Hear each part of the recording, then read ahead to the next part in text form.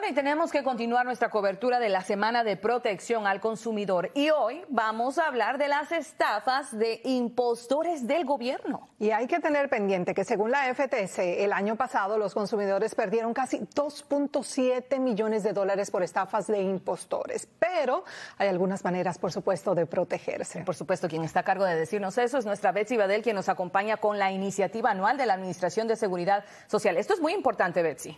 Muy, pero muy importante porque ocurre todos los días. Les cuento primero que una estafa de impostores del gobierno suele iniciar con una llamada, un email, un mensaje de texto, incluso un mensaje a través de las redes sociales de parte de alguien que dice que trabaja para una agencia gubernamental.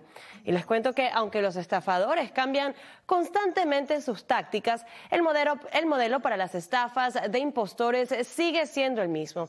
El estafador se pone en contacto con usted, como le había dicho, ya sea por teléfono o por correo electrónico o algún mensaje y luego se hacen pasar por agentes del gobierno federal. Se comunican creando un problema que pretenden tiene que ver con su agencia, pidiéndole su información personal o incluso muchas veces tratan de que les envíe usted su dinero. Oficiales con la Agencia de Seguro Social dicen que los consumidores deben saber cuáles son las cinco P's, la letra P del fraude para evitar caer en una estafa.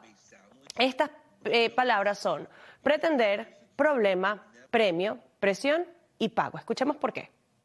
La persona está pretendiendo algo, una alerta, la carta no se ve bien o la forma que está hablando parece ser una persona que está pretendiendo. Te está hablando de un problema que ni sabías que existía. Te están ofreciendo un premio, pero ¿un premio para qué?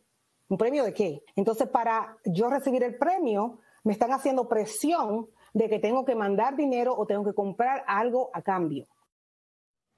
Bien, y recuerde que los estafadores le dirán que pague de alguna manera específica, como por ejemplo con tarjetas de regalo o con transferencias directas a su cuenta bancaria. Si recibe una llamada sospechosa, lo mejor es que cuelgue el teléfono, así que no dé su dinero y tampoco sus datos personales. Nunca haga clic en enlaces desconocidos y desconfíe de las solicitudes de pago que no esperaba. Finalmente, recuerde que empleados de gobierno no lo van a estar llamando ni enviando correos electrónicos ni mensajes de texto para pedirle dinero o información personal. Usted debe denunciar cualquier estafa con la FTC o la Administración de Seguridad Social. También lo puede hacer directamente con la agencia a la cual ellos dicen pertenecer. Y no olvide denunciar la estafa porque esto puede prevenir que le ocurra a otras personas.